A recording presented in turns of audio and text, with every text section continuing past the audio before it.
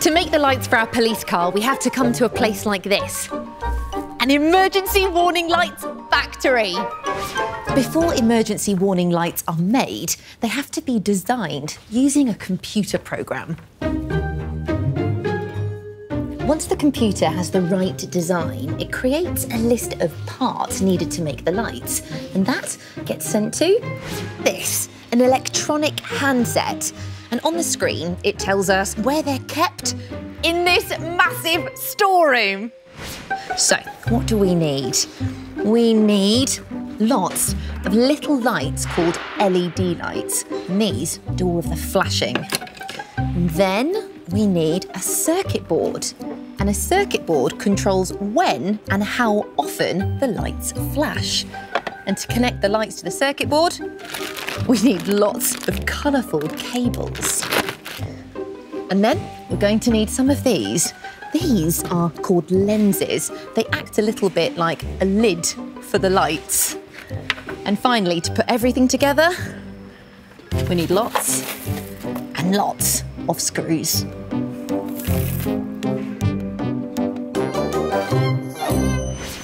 First, the base is cut out from a sheet of metal called put with all of the parts onto a mini train until it reaches the workstation. And this is where the emergency warning light is put together. And this is Mick. He's going to be making one for us today.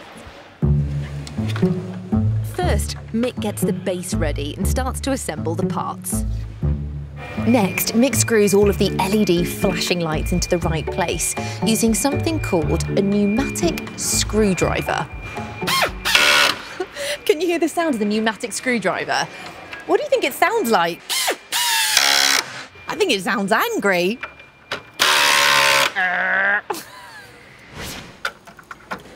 It's time for Mick to wire all the LED lights, but there is a lot of wiring to be done and it can take a long time. So I'm going to use my special camera to film something called a time lapse. And that means when we watch this back, we can see things happening a lot quicker.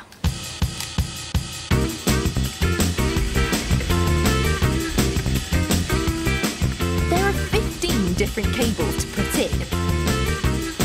I think they look a bit like colourful spaghetti. Wasn't that brilliant? Now all the cables are in place, it's time to plug in the circuit boards. A circuit board is like a mini computer and it sends a message to the LED lights to tell them when to flash. And they're connected by these wires. Mick has given me special permission to help him plug one of the wires in.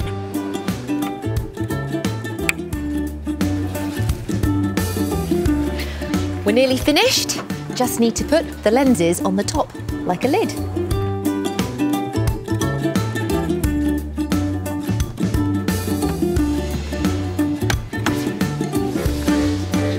Last workstation is really important because it's where the emergency warning lights are tested to make sure they're working properly.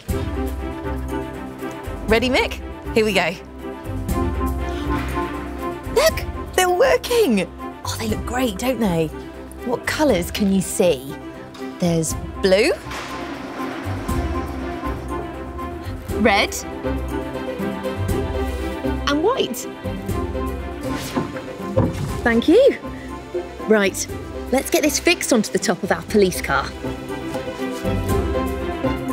The lights have to be screwed in place and then wired into the police car's electrics. In total, it takes about seven hours.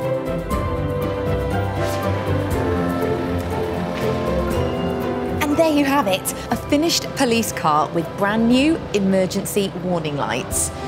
And I've got special permission to switch them on.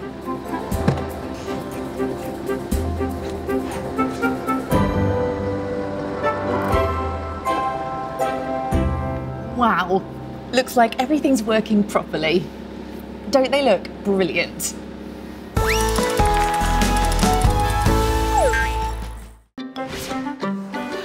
A car wash is like a giant robot. It's an automated machine, and that means it's controlled by a computer. How amazing is that?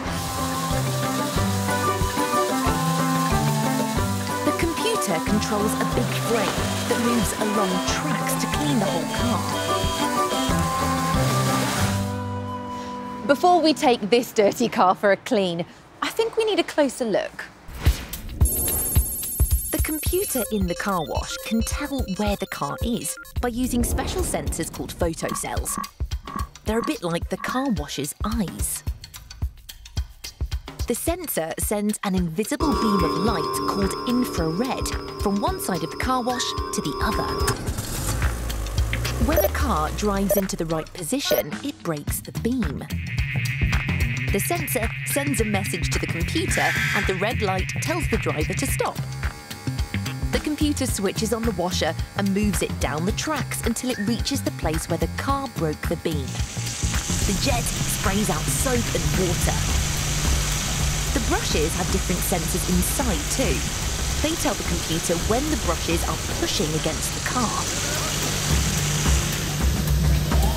A drying machine moves over the car in exactly the same way as the brushes because the computer has memorised the shape of the car.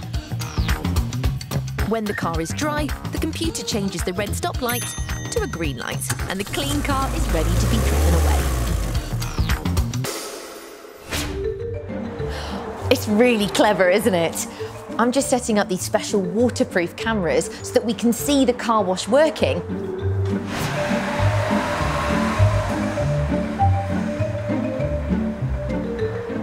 Okay, the sensor must know I'm in the right place because the light has turned red. Whoa, look at that! Here comes the soap. Look on my special cameras. You can see the soap pouring down. It looks a bit like a curtain. Oh, here comes the water. Can you see on my special cameras how the water is being sprayed? It's through little jets.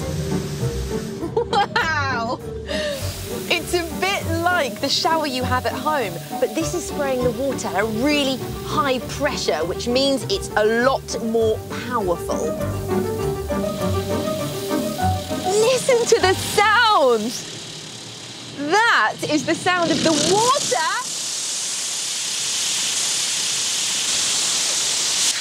That's really exciting! Ooh, now it's time for the brushes. The giant brushes are coming down and then the sensor will tell them where the car is so it knows where to stop.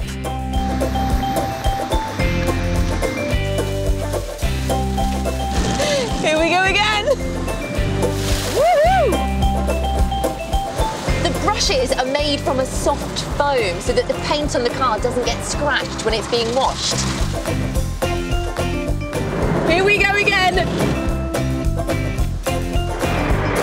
That is such a brilliant sound. It's like being in a thunderstorm. There's one more thing we have to do before cleaning the car is finished. What do you have to do after you've had a bath or a shower? That's right, you have to get dry. This is like being under a giant hairdryer. These fans blow air through nozzles to push the water off the car to make sure it's dry. And that's it. The car is clean and shiny. That was brilliant.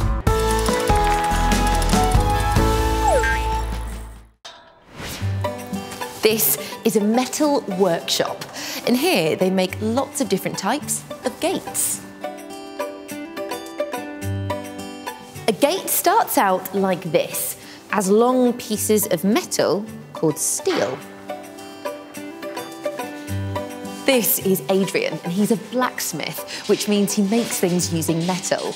And first, Adrian picks the pieces of steel he's going to use, and then the pieces need to be cut so they're the right size. Workshops and tools can be very dangerous, so you should never go near them without a grown-up. Steel, Adrian is using a big machine called a bandsaw. And can you see the really sharp teeth here? It's these teeth that will cut through the metal. But what do you think the bandsaw looks like? I think it looks like the wide open mouth of a crocodile.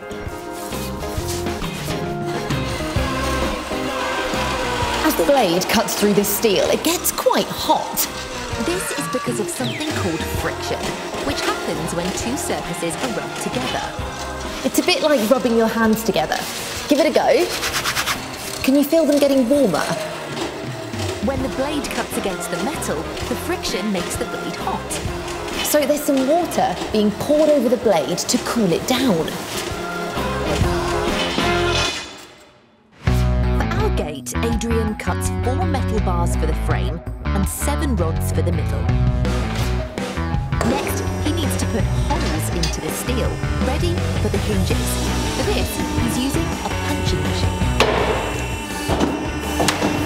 Did you hear that loud clunking sound? It's like a giant paper hole punch, only this one is much more powerful. Our gate is going to have a curved top, but steel is strong. So we're going to need a very strong tool to bend it with. It's called a ring roller. Now he's turning a screw and that puts pressure on the metal. Next, he's turning a lever and that moves the straight piece of metal backwards and forwards. And slowly, the metal starts to bend.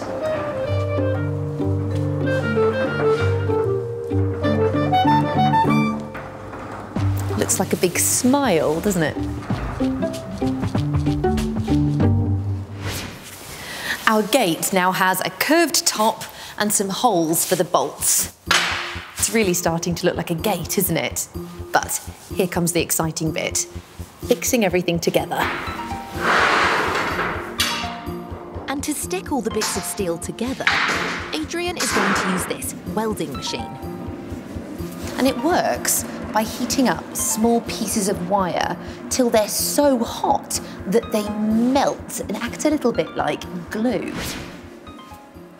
Welding creates lots of bright sparks, so we have to wear a welding coat to protect our clothes and a mask. To protect our eyes,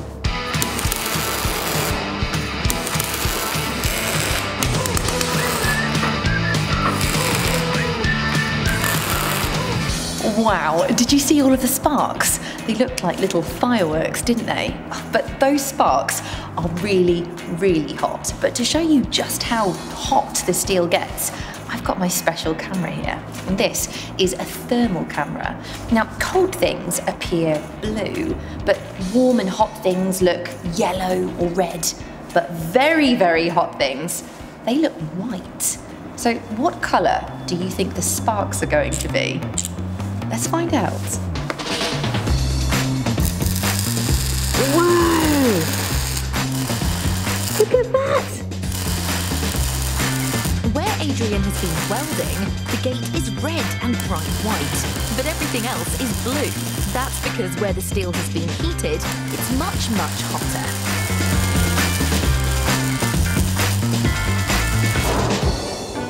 Adrian is creating a swirly pattern for a gate using a set of scrolling tools.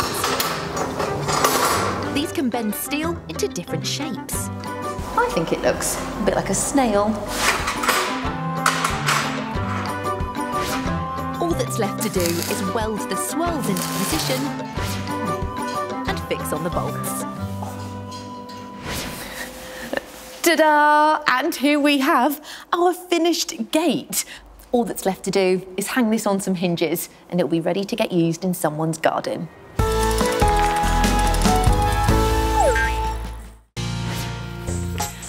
Some of the materials we need to make concrete come from here, a quarry. A quarry is a place where rocks, sand and other materials can be dug out of the ground. And this one is massive. Quarries can be dangerous. You should never go into one without a grown-up. but I've been given special permission to be here today. This is gravel, and there is lots of it here. It's like being on a gravel mountain. Gravel is the main ingredient we need to make concrete. Gravel is made up of thousands of tiny pieces of rock found underground. The next ingredient is sand. And this sand is just like the sand you might find on a beach to make sandcastles with. The gravel and sand are dug out of the ground in the quarry by a big digger, then scooped into the back of a dumper truck. The dumper truck pours it all into a tank called a hopper. The sand and the gravel fall out of the hopper onto this, a conveyor belt. I wonder where all the sand and the gravel goes. Well, I've got my special camera with me, so we can find out. The conveyor belt moves pretty fast, so I wonder if we can make it to the end before the camera does. I've got another special camera with me, so I can bring you along to see if we can make it first.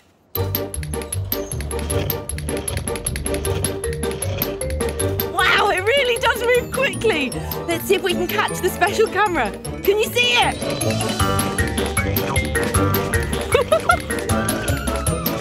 All the way over there. Are we going to make it to the end before the special camera? I don't know. Us.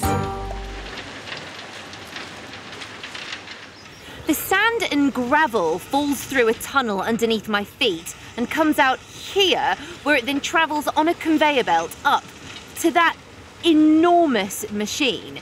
And inside there, it falls onto a sieve.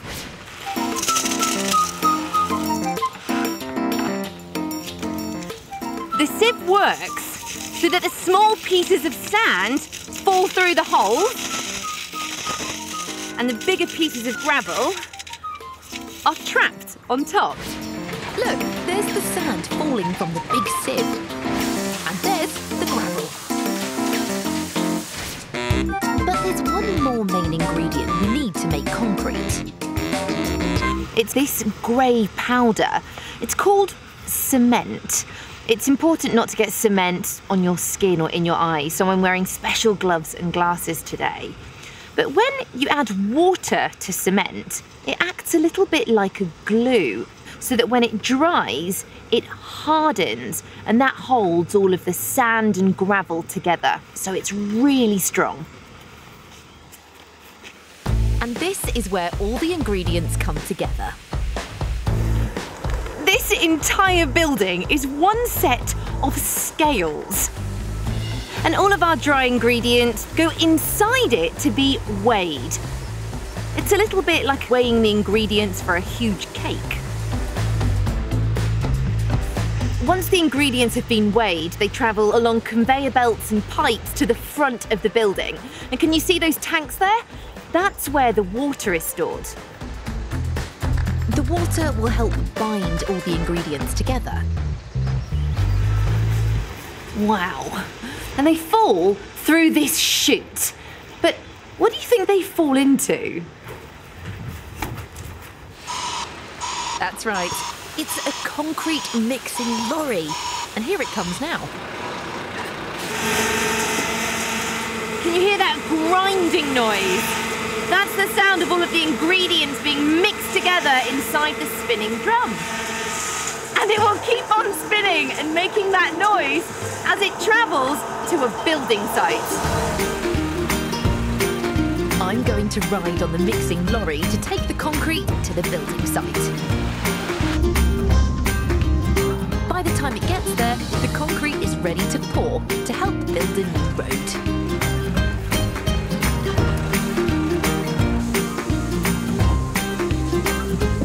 Craig's using a chute so that he can pour the concrete exactly where the builders need it.